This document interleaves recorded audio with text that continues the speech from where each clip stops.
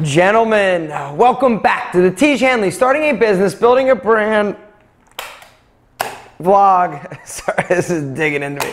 Vlog. This one is big, number 91, and we're back in Atlanta. So last week was a lot of fun. The meetings that we had, having you guys actually come along and meet everybody was incredible.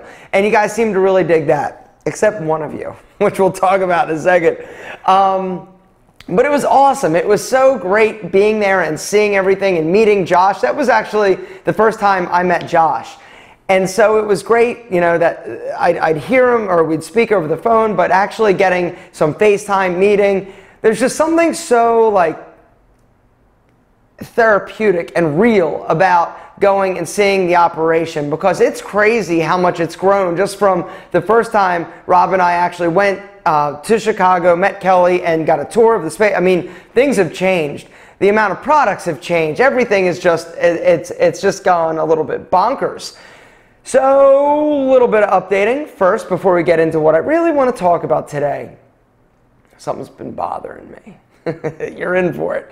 Um, little updating. Some things that happened. Um, the, the website has been transferred over to Shopify, and that thing is quick we're working out some bugs, we're working out some kinks. We emailed everybody saying, hey guys, it's live. You got to reset your password or, cho- or, or pick your old password again. You just got to active, basically just look for your look for an email from us in your spam folder your deleted folder you might have deleted it but we sent everybody an email whether or not you were paused or or active or canceled i think i think don't hold me to this but i think we sent everybody an email saying yo upgrade, we're live.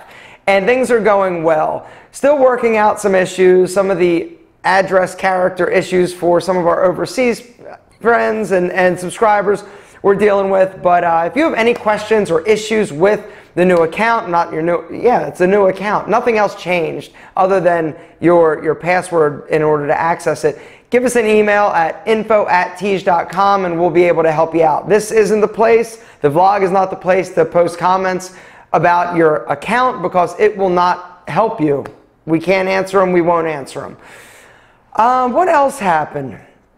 When we were in Chicago on Monday, we had we we hired a a I don't know if it's an advisor or an I don't know who his name is Keith and essentially, Keith has worked for a bunch of pretty big businesses, and he has helped them plan and strategize. The thing that Keith usually usually Keith comes in sort of at the later stages of a business when they're getting ready to sell to another company or be acquired and they want to position themselves and make sure everything structurally and from a, a corporate standpoint is set up he comes in and, and, helps. But Kelly knows him and he's like, yo, this guy is like crazy smart. He understands. He's been educated at like Harvard or uh, like he has like 27 degrees. He's an attorney. He's done this. He's done that. And we have hired him to sort of do an overview and a, a basically an analysis of our business. Everything from our management to the industry and what we're doing and how we could improve and and and a little bit of strategy. But really it's just taking a deeper dive on the company, Tiege Hanley, and helping us basically streamline things. And so one of the things that happen or that happens or he does is he goes and actually spends some time talking to all of us individually so that he can ask questions, get our input on what you know we feel as weaknesses, strengths, what we feel everybody's doing well, where we feel there's opportunity for improvement. And so yesterday was, was my call, and uh, it felt so good. it honestly was great because he's sort of he's an unbiased third party perspective and that's one of the beautiful things about hiring consultants or somebody from outside of us because it's you know, you can sort of let your guard down and you can be honest, and that's sort of what you need to do in order for him to help the business grow and stay on track and really do what it, it is intended to do, which is grow. And so it was really great. I felt like a million bucks. Originally, I was like, hey, Keith, I got 30 minutes. But 30 minutes came and went like that. And I'm like, hey, I got more time. You got more time? And so we talked a little bit more. And um, I just spit if you saw that fly. Sorry. it hit my glasses. That's awesome. Coffee break. So it felt great. It was, um, it felt, it felt incredible. And I'm really excited to see what he comes back with. He's going to have recommendations. Now, the thing that everybody sort of has to be ready for is that some of his recommendations may not be, you know, 100% like awesome for me. Like he might be like, Aaron, you need to do X, Y, and Z.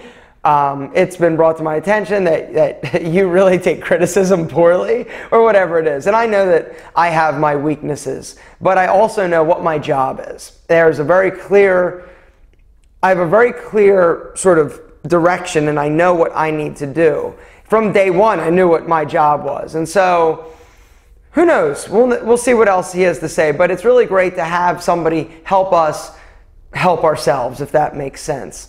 And he sat in on the meeting all day on Monday. And so he was throwing ideas out. And, and some of the ideas I like, some of the ideas I wasn't really wild about. The, the interesting thing about our business as opposed to a lot of the other businesses that he has helped, is that we're e-commerce all day long. And so it's a different animal, it's a different beast. And so there's nuance and there's there's things that you need to understand that's not just straight up, you know, it, it's different. It's it's just there there are different things, there's different it's just it's just different than some of the businesses that he's worked for. And so there's going to be a learning curve for for Keith in order to really identify what we're doing and, and how we're you know, utilizing social media and all that good stuff. It's a three month engagement. So he's going to be basically working for us for about three months, present this, and then he's going to be, I think, out. I don't know what the plan is after that. But it's very important. The business lesson and takeaway is that sometimes it's it's critical to get somebody else to give you feedback or to take a deeper dive and look at what you're doing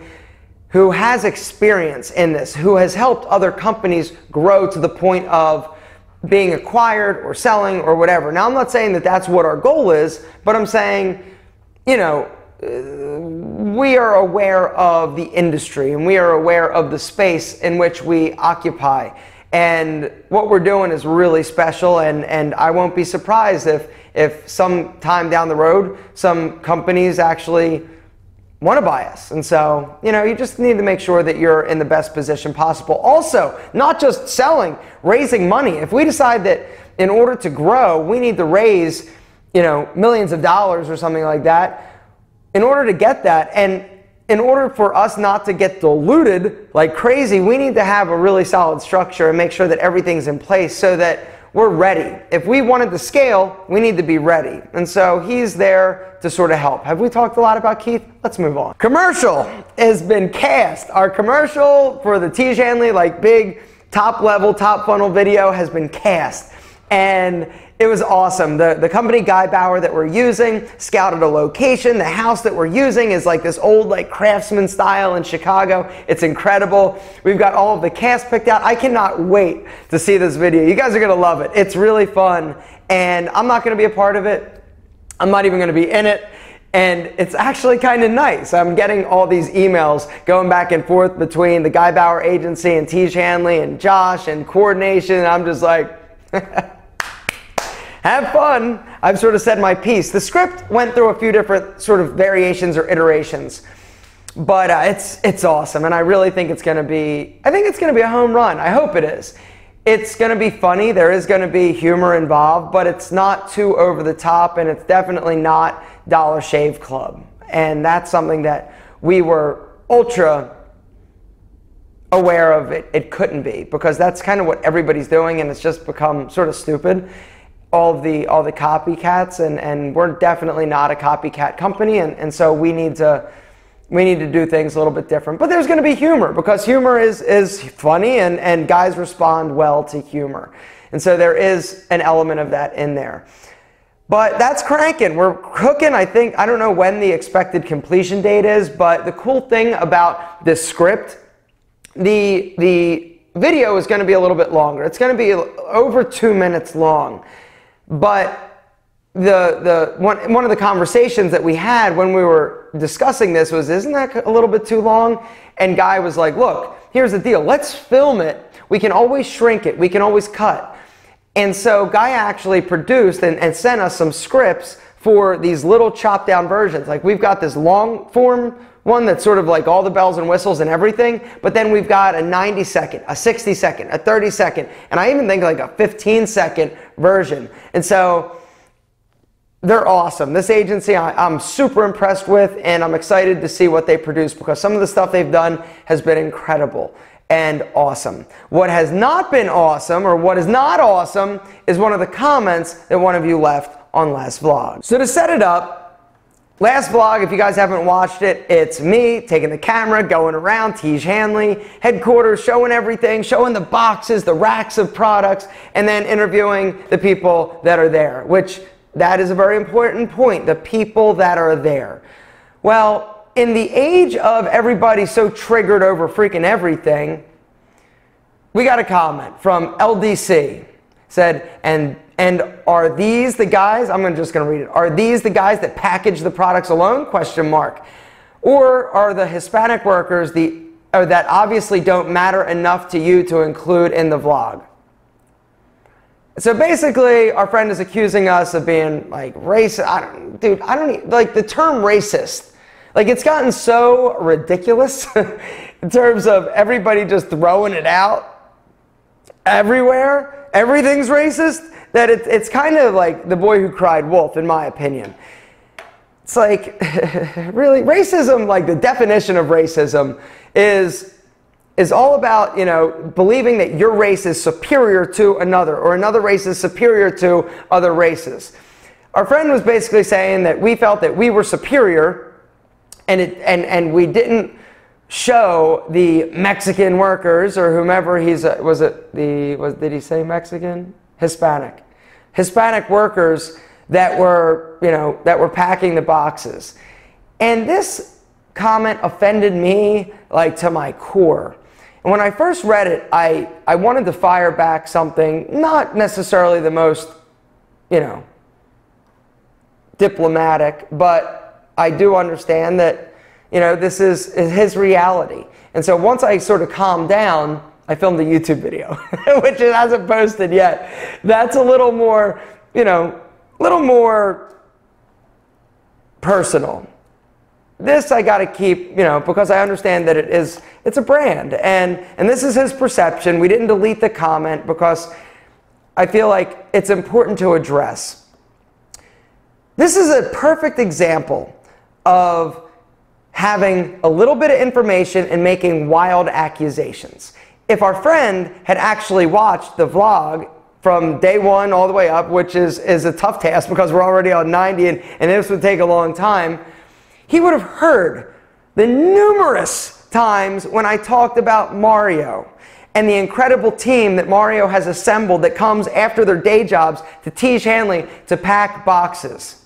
He would have known that we love, need, and are so incredibly proud of the job that they do. And they are as much of a part of Tiege Hanley as everybody that is that is that is that has their hands on Tiege Hanley, including you.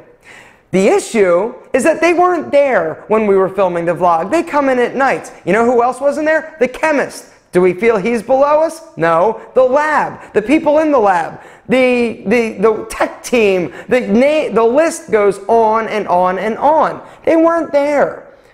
If they were there, I would have jammed this camera in their face and talked to them about Tiege Hanley and all that. You can, you can rest assured that nobody in my presence goes without being interviewed in that situation. It was so incredibly it was hurtful. It was hurtful and it was disgusting. And the, it's not the common, and I understand that, that everybody sort of, everybody has their, their perspective. And based on your experience, based on your, you know, what's going on in your life or your history or your, you know, ethnicity or whatever, you're going to have a different perspective than I do. And the fact that everybody who you saw at the, the you know, the, on that last vlog is a white dude, it just happens to be that the white dudes applied, the white dudes got the, it has nothing to do with race. And the, and, and claiming that, I feel like it's a, it's a cheap shot. I feel like it's a, people just drop the R word anytime they want to win an argument. It happens all the time. It happens in the media. It's crazy. It's like all of a sudden you're having a disagreement. And that's the other thing. We've gotten to where we can't disagree with somebody who's a different race than us. If one of the people is a white dude and the other person that we're having the disagreement with isn't, we're racist. It's, like, really? What? What are you talking about? I honestly believe in my heart that the majority of people in this country, in this world, are decent, amazing people who love each and every person and they do not judge people based on skin tone or ethnicity alone. But if you act like an asshole and you're a black guy or you're a white guy or you're a brown guy, yellow guy, if you're an asshole, you're an asshole. But this, this race baiting nonsense that's going on has gotten insane. And I think that one of the other things that bothers me is that people aren't standing up for themselves with it because it's like somebody drops it, you know, mic drop, R word, walk out of the room, and the other person, and, and, and the fear of being called or labeled a racist has gotten so bad because you see people rioting at college campuses and just like insanity stuff. People freak out. No, I'm not. How do you defend yourself? Seriously, how do you defend yourself out of, like over an accusation like that? How? You know, it's it's it's it's part of my French. It's so fucked up. I can't even like stand it. And this comment got me triggered. It got me triggered because you know, it's like it was just it was just insane. It's an insane thing. It's just insane. And it, and it breaks my heart that this is where we are as a country, that this is where we are as, as, as, as, as a world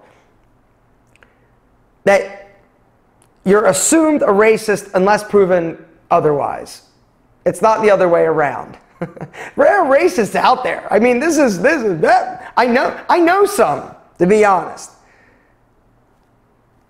But the fact that we didn't show the people packing the boxes that we've talked about on probably 15 occasions, that's the reason why, like, it's like, shut the front door. Shut the front door. and so, thank you for your comment. thank you for all of your comments. They are always incredible and amazing, sometimes less incredible. Um, I'm just saying. I feel good. I feel good I got that off my chest. Don't you? It's just insane. It's, it's literally, we've just gotten, we have gone insane. And I don't know how we fix it. I don't know when, I, don't, I just don't know when. I don't know how we come together and fix it. You got to love each other, man. That's what it's about. It's about helping, it's about loving. That's it. I don't like, and I don't know. And, and it's, it, the, the, the crazy thing about all of it is that the people that are making a big deal about race are the race baiters. It's not everybody else. Everybody else is like just normal, like whatever. But it's the people that are making race. They're the people that are making race an issue. That's it. It's like, oh, race. Like, it's crazy. But I'm a white dude. And I guess I don't understand. But I think I understand a few things. The one thing I do understand is that you're incredible and that we love you. And your skin, oh my God, are you kidding me? It is incredible. Uh, everything is good. Everything is really good. Everything is moving in the right direction. Really happy. I am tired. I need a break. When I came back from Chicago, I was there for three days. I came back, I had one day to get some work done, and then I started filming an Alpha M project. Now, this week, Monday, Tuesday, Wednesday, today, I'm filming this on a Thursday, and an Alpha M project is happening. So I lose the rest of the week. And the way that my schedule is with, with content creation these days, or excuse me, it's been that way for, for, for a long time. Five days a week, five videos a week I film. And so it's gotten a little bit weird. And when I get out of my schedule, I get cranky. I haven't been able to work out the way that I had been, but Next week, chilling out a little bit, hopefully. Um, but you're incredible. Thank you all so much for being a part of this. Thanks for watching and listening to me ramble. If you have any business related questions down in the comments, let us know. And next week, we'll answer some. Guys, we love you more than our double monk strap shoes.